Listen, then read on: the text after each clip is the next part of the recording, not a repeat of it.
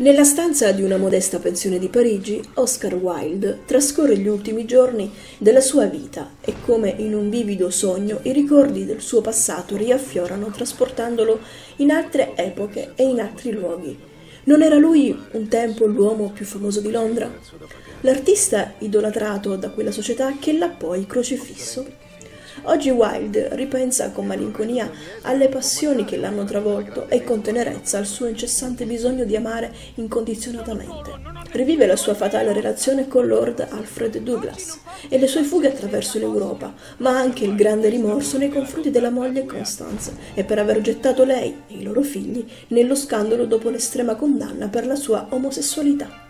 Ad accompagnarlo in questo ultimo viaggio solo l'amore e la dedizione di Robbie Ross che gli resta accanto fino alla fine nel vano tentativo di salvarlo da se stesso e l'affetto del suo più caro amico, Reggie Turner. E il film The Up Prince in programmazione al Cinema Méliès dal 12 al 17 aprile con spettacoli alle 18.30 e alle 21.30. Nel corso della stessa settimana saranno proiettati 4 Chuck, La scuola al centro, Pasta nera, Due Sicilie e My Name is Dadil. Per tutti gli altri film consultare le schede di programmazione nel sito internet cinegatti.it.